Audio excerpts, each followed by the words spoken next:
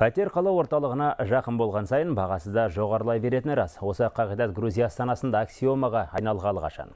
Көп қабатты үйлердегі мансардаларда сәнге айналып отыр. Туристік мемлекет болған соң баспана жалдау қарқын алған.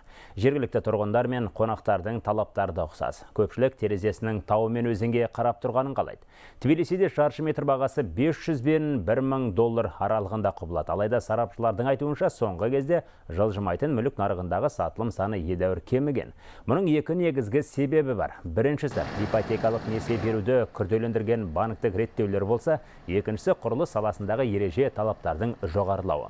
Соңғысының кесірінен көптеген нысанның құрылысы тоқтап тұр. Осыған байланысты құрылысшылардың қызметі мен баспана бағасы шарықтап кеткен. Өткен жылы шетелдіктер арасында сұраныс артқан болатын. тмд ішінде Ресей, Украина, Беларусь пен Қазақстан елдері көш бастаған еді. Әзінше кәрі құрлық елдері мен және Израиль келеді. Әрбір шетелдік азамат үшін Грузияда баспана сатып алу теориялық тұрғыда қиын емес.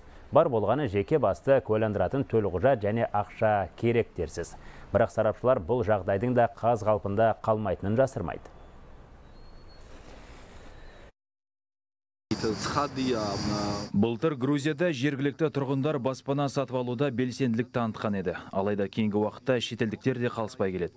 Олар үй емес, сауда алаңдарына да көз сала бастаған. Бірақ қазір банктік реттеулерге байланысты Грузия азаматтығын алып үлгермегендер үшін жылжымайтын мүлік сатып алу оңайға соғып жатқан жоқ.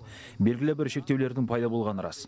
Ал кейбір елдердің өкілдері елге тіпті инвестиция құю мүмкіндігінен айырылып отыр.